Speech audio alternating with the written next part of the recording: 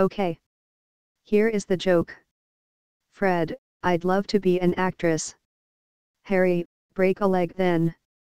Amy, whatever for. Fred, then you'd be in a cast for weeks. Ha ha.